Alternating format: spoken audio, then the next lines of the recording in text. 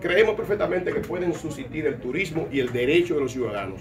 Y lo que tratamos también de evitar es que en los futuros proyectos que se van a desarrollar se maneje de la manera en como se han manejado los 57 kilómetros de costa que tiene la parte este del país.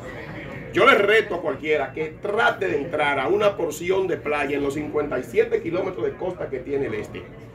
Solo entrará si se hospeda en un hotel y paga 400, 500 dólares.